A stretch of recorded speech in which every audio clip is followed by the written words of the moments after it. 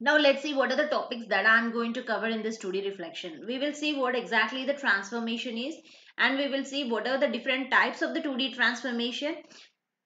In those types, one of the technique is the 2D reflection. So we will work out on what exactly the 2D reflection is. Excuse me.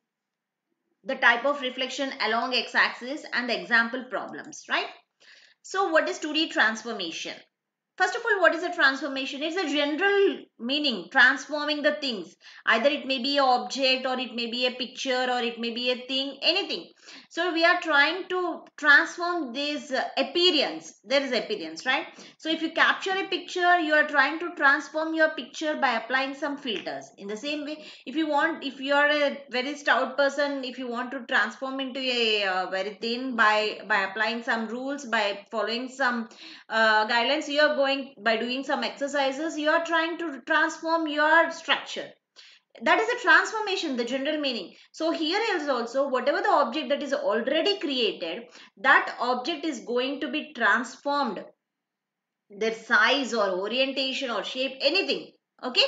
So that is a transformation. Transformation is nothing but it's changing some graphics to another picture by simply applying the rules so this is one of the most important uh, role. The, this transformation is playing very important role in the computer graphics field and it is trying to reposition the graphics on the screen and change their size or orientation.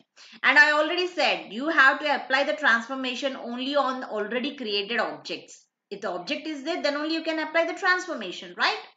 So 2D transformation applies on 2D dimensional planes. So now let's see the different types of the transformations. The different types of the transformations that are used in the computer graphics are the translation, scaling, rotation, shearing and the reflection. So these all types of transformations can be applied on the 2D images as well as the 3D images also. So in this video, I'm going to explain about the reflection. So first of all, whenever we are trying to evaluate the word reflection, the first thing that uh, came into your mind is it's a mirror image. A 2D reflection evaluates the mirror image of an object.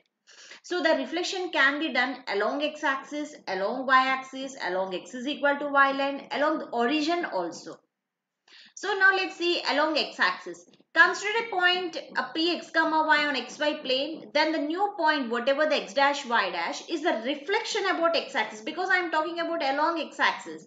So it is reflection about x-axis. So it will be given as the new point x dash is same only. Okay. But y dash it is changing to minus y. So see here in the image. This is the your original one and this is the reflected one. Reflected reflected image. Okay.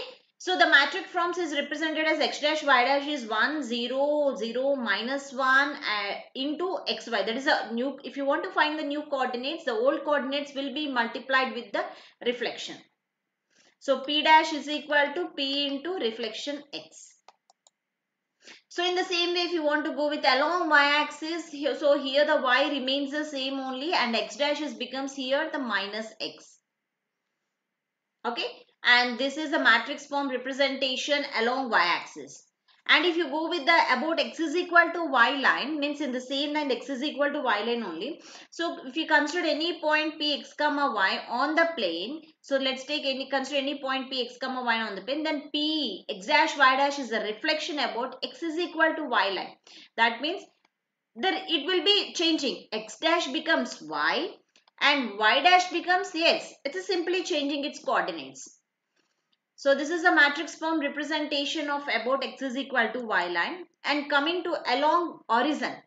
So considering a point px comma y on xy plane then the new coordinates p dash x dash y dash is the reflection about origin means x dash becomes minus x and y dash becomes the minus y.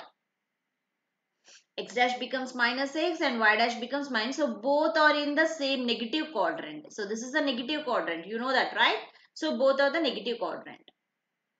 So this is a matrix form representation of along origin. x dash y dash is minus 1, 0, 0, minus 1 into xy. So now let's work with an example. Then you get a clarity on how the object is going to be reflected here. Right? So let's take this is P, Q or let me draw the original image. Then we will later we will see about the reflected image how it look like. Okay. So let's take 2, 4, 6. Okay. And this is 2, 4, 6 this is along x-axis and this is y-axis and here uh, minus 2 minus 4 minus 6 and this is minus 2 minus 4 and minus 6 right? So let's take our coordinates. What are this uh, given coordinates? P 5 comma 4 this is 5 and somewhere here 5 comma 4 okay this is the p coordinate and q 2 comma 2 so this is the q coordinate and 5 comma 6 this is 5 and this is a 6 okay? So this is your sorry sorry 5 right? I'm sorry. Let me erase this. Okay.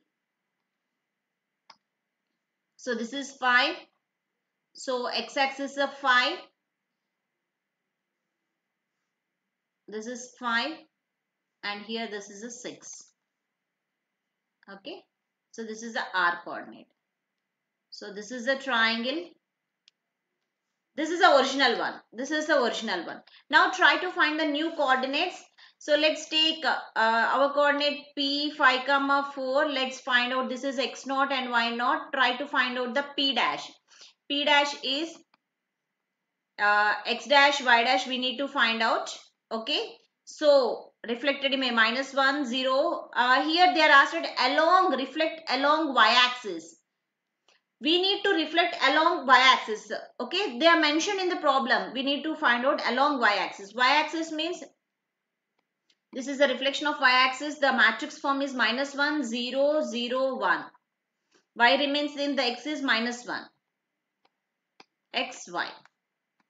Okay? That is x naught y naught so minus 1 0 1 what are the x y called uh, x naught y naught 5 4 that means you will get minus 5 4. So this is P dash. So now let's try to work out on uh, Q dash. So Q dash is uh, minus 1, 0, 0, 1 and what are the coordinates? 2, comma 2. So if you multiply this, you will get minus 2 and 2. Okay.